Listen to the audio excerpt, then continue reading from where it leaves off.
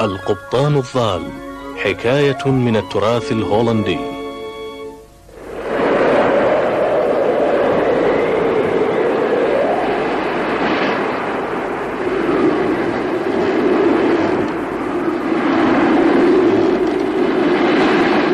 لقد مضت عدة أيام ورياح الربيع لم تهدأ وقد أثر ذلك على السفن الراسية في المرفأ فلم تبحر أية واحدة منها. المهم من بين قباطنة هذه السفن كان هناك قبطان شجاع وجريء لن يخيفه استمرار الرياح فصرخ في بحارته قائلا استعدوا! سوف نبحر هذا اليوم مهما كانت الظروف. وكانت وجهة نظره أن رسو السفن في الميناء لا يطعم البحارة خبزا. اليوم الذي قرر فيه القبطان الإبحار كان يوما دينيا يحتفل فيه سكان المدينة بذكرى صعود الموتى إلى ربهم. وسادت التقاليد بأن لا تبحر السفن في ذلك اليوم والسفن التي لا تلتزم بهذا العرف تحل عليها لعنة السماء.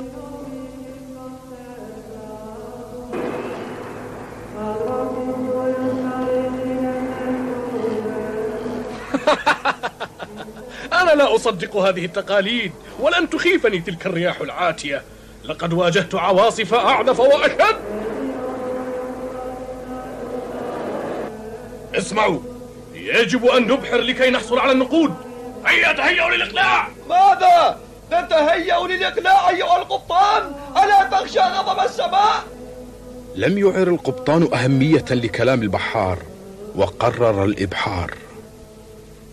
لا تصدقوا كل ما يقوله الناس. إذا أردتم أن تربحوا النقود اتبعوا تعليماتي ولا تناقشوا. أما إذا أردتم أن تتبعوا ما يقال هنا وهناك فلن تعيشوا حياة مليئة بالسعادة والرخاء. وهكذا كان إصرار القبطان الهولندي على الإقلاع مبنيا على الحاجة إلى القضايا المادية. ولم يعر القبطان أي اهتمام إلى ما يدور حوله من تحذيرات بعدم الإقلاع في مثل هذا اليوم الجليل. حقا الإقلاع؟ طبعا طبعا ألا تعرف أن هذا اليوم هو يوم الجمعة العظيمة؟ أعرف ذلك ولكننا يجب أن نحصل على النقود من أجل العيش أنت تتصرف تصرفا منافيا للتقاليد والأعراف الدينية وسوف تحل عليك لعنة السماء ولن ترى بناء بعد اليوم جائز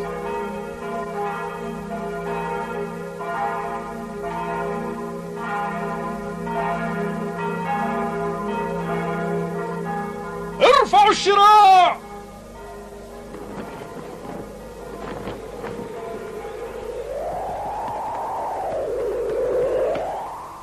وهكذا لم تنفع مع القبطان كل التحذيرات التي قيلت له. ارفعوا المرساد ولنبحر في الحال. هيا!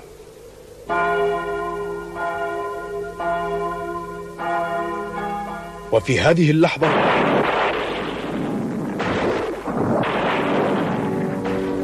شاءت إرادة السماء أن تنزل الحكم العادل بحق القبطان الهولندي وغلفت حزمة من النور سفينة القبطان الهولندي وفجأة أصبح القبطان الهولندي وبحارته غير قادرين على الحركة. لقد جمدوا وكأن طوقا من الحديد قد قيد كل واحد منهم.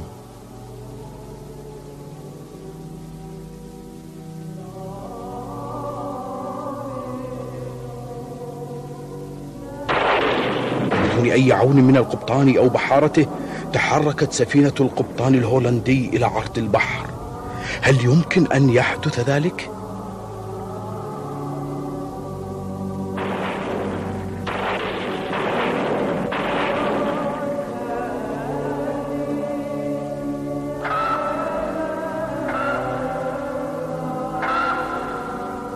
لقد أنزل حكم السماء العادل بحقهم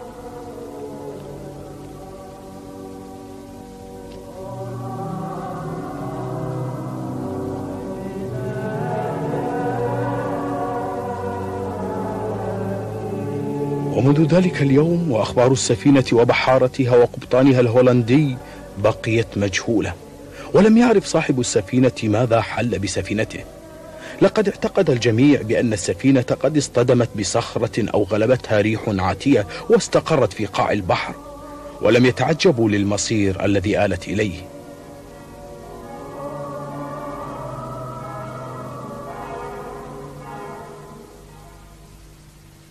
ومرت عدة سنين. وفي يوم من الأيام وبينما كانت إحدى السفن تمخر عباب البحر بالقرب من الساحل الجنوبي للقارة الإفريقية شاهد أحد بحارتها سفينة غريبة.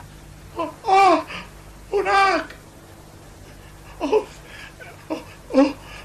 إنها إنها سفينة مريبة! قبطان! سفينة مريبة! سفينة مريبة!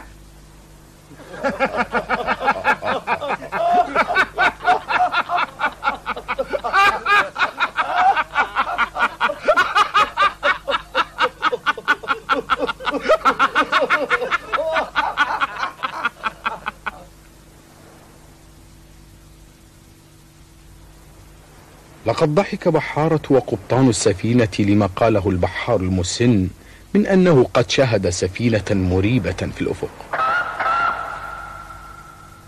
وضحكوا أكثر لخوفه منها واعتقدوا أيضا بأنه قد تخيل ذلك في نومه.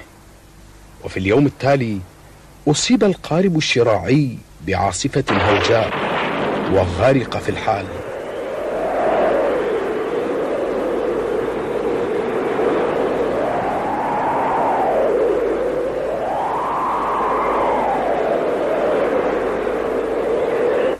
أما البحار الوحيد الذي نجا من الموت فقد كان نفس البحار الذي شاهد السفينة الغريبة. بعد ذلك حدثت أشياء غريبة. السفينة المريبة كانت تطارد جميع السفن التي تقترب من ميناء الأمل. وحدث أن جميع السفن التي التقت بها إما تحطمت أو غرقت عدا سفينة واحدة لم تغرق.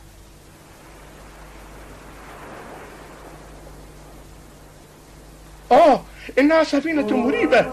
آه لابد أنه الهولندي الضال لابد أنه الهولندي الضال لا إنها سفينة مريبة مريبة مريبة. لم يكن البحار مخطئا في ظنه. إنما رآه البحار كان بالفعل سفينة الهولندي الضال. إنها سفينة الهولندي الضال. لقد تعرف الجميع عليها.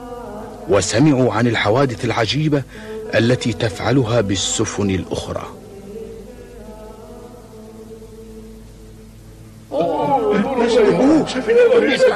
إنها سفينة مريبة السفينة المريبة نعم سفينة القبطان الهولندي نعم نعم السفينة المريبة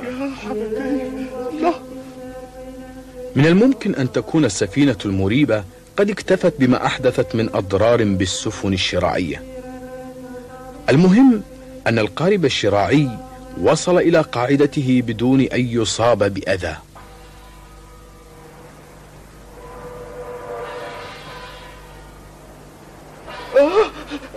إن إنها السفينة السفينة المرهبة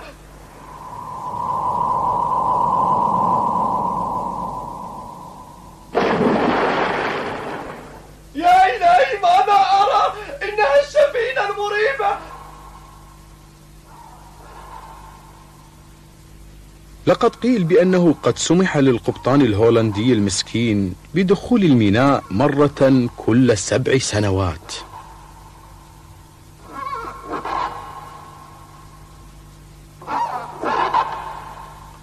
أوه ما هذا؟ ماذا أرى يا إلهي؟ ها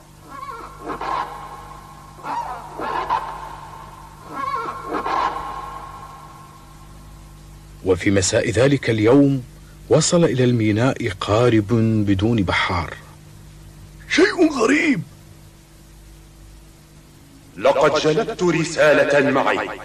أرجوكم اقرؤوها.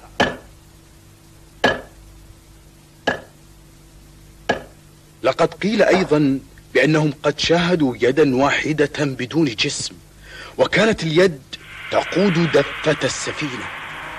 لقد كانت نفس اليد التي سلمت الرسالة لقد ثبتت الرسالة على سار السفينة في الحال وقالوا أيضا بأن شيئا مفجعا كان سيحدث لو لم يفعلوا ذلك فورا. متى ستحصل سفينة القبطان الهولندي على عفو السماء؟ ربما تكون قد حصلت عليه الآن وهي ترقد بسلام في قاع البحر.